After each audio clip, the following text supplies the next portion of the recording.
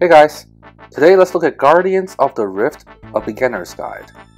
I will be linking a more advanced guide and also a solo guide, so stay tuned for those.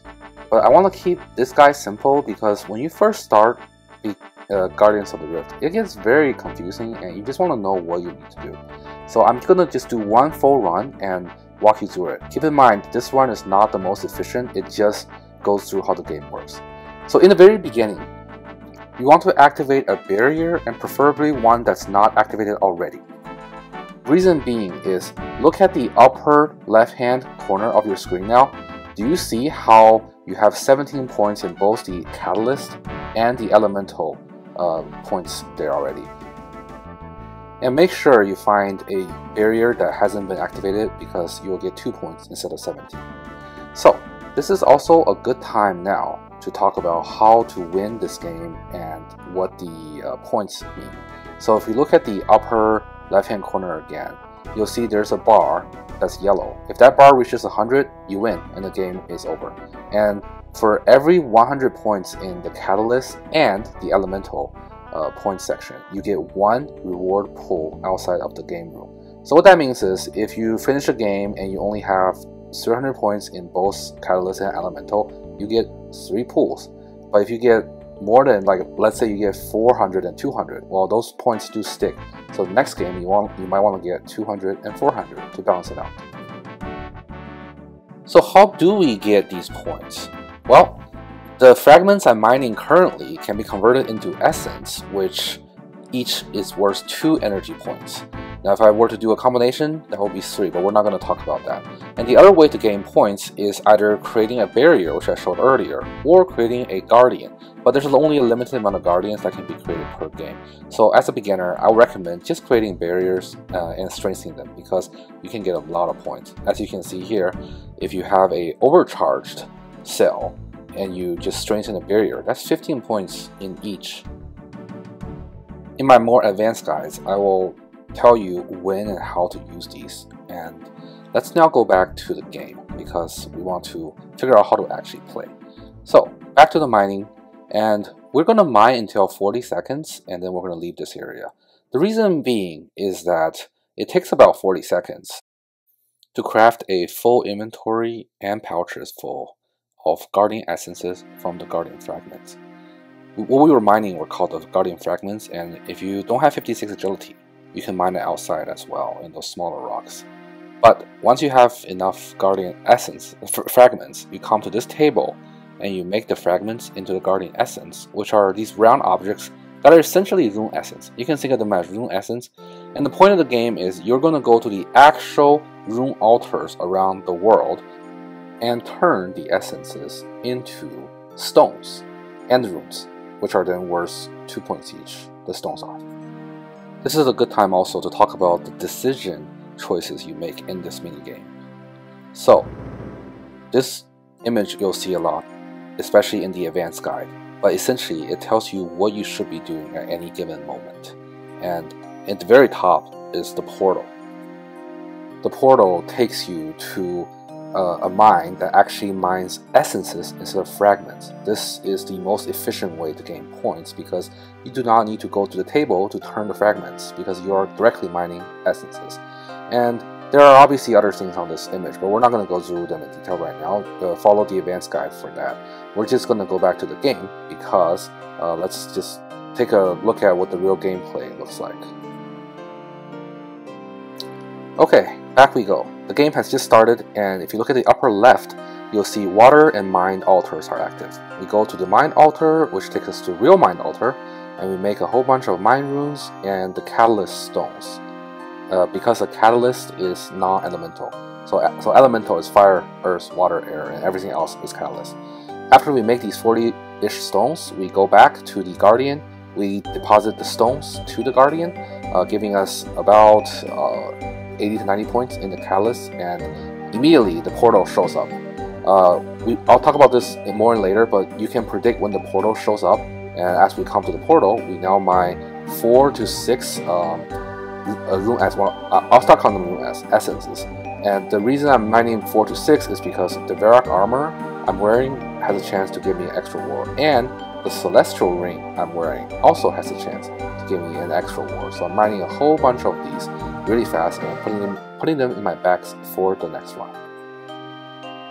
Okay, now that I have a full inventory, let's look at the game. Now it's Earth and Blood, and Earth is a strong altar, and Blood is a super strong altar, overcharge. So I'm going to pick Earth because I can't access the Blood right now, but by making these uh, Earth uh, stones, I also get a strong Earth cell. It's, it's the green cell uh, in my inventory, and I can use that to make a Guardian or strengthen a shield. So I chose to make a Guardian because I because there, there was an empty spot for it. But if if there were 10 guardians out of 10, you would just go make a shield. Um, and once that's done, back to crafting runes from the fragments. Yeah, so basically, remember that chart I showed you earlier? Every 30 seconds, something is going to change. And you're to have to decide whether you want to go mine more fragments, make more essence, turn in some cells, make a guardian, make a shield. It's a lot of decisions and in the beginning it can be very hectic. That's why the advanced guide will help you out with that. For now though, as a beginner, all you want to do is keep crafting essence going to whatever altar is active and turning those essence into stones so you can get points. And this is a good example of a decision you have to make. In this round, you have Water and Chaos, both of which actually suck. Uh, they're both what's called medium cells, which don't give a lot of points for the actual cell. So what did I do? I actually just waited out. You see that? Because I really wanted a strong or overcharge. And nature is a strong, whereas air rune is weak. So I chose the nature immediately in that round, so now I can make another strong cell, which gives me a lot of points when I use it to make either a barrier or a portal. Again, if you're new, you don't need to wait, just go to whatever is active. I was waited I was waiting here because the timer was running down towards the end, and also because I've already played a lot of games. Um, so I know what I needed to do. And here you can see there is a S and a water, but unfortunately I ran out of essences. And in my advanced guide, I will show you how to avoid a situation like this. But it's okay, another portal has shown up. To the portal we go. And yeah, it's just a cycle of mining essence, crafting essence, and then going to the portal to mine uh, more essence, and just waiting until the energy reaches a, re reaches 100. Talking about energy, the energy will go down if the abyssal creatures starting start attacking the main guardian. And they can attack the main guardian when the shields are down. So this is a situation that you will see happening quite often as well everybody is so focused on crafting essences and turning and like making guardians that they forget to uh, put the shields up or strengthen them. And the abyssal creatures actually can end up killing the guardian in the very beginning of the game, wasting a lot of time because there's a two minute timer at the beginning. Remember when you were when you were mining those fragments. So do be careful with that. If you find a world like that, I would just hop uh, as a as a beginner. Uh, in the later games, I can show you how that can actually be a benefit. And in a solo game, that's actually a very good way to rack up a lot of points. But those are for a topic for another day. At this point, let's speed it up because we are we've talked about the core gameplay, which is make essences here, and uh, once you make essences, go to any altar that is active, turn the essence into stones, which are worth points. Points can also be gotten by creating barriers or creating guardians. But because guardians uh, have a limited amount that can be active at any moment in time, you should probably just go create barriers. And also, each altar is different because some altars are strong and overcharged, others are weak or medium. You probably want to go for the stronger ones because those cells are worth a lot more points. And when a portal opens, definitely stop what you're doing and go to the portal because that is the fastest way you'll get more essences as you can mine directly from it and get 4 to 6 per mining action, which will give you more points. And here we are, towards the end of the game. The Guardian's hit point is almost to 100 now. We're trying to get in our last little bit of rune crafting done.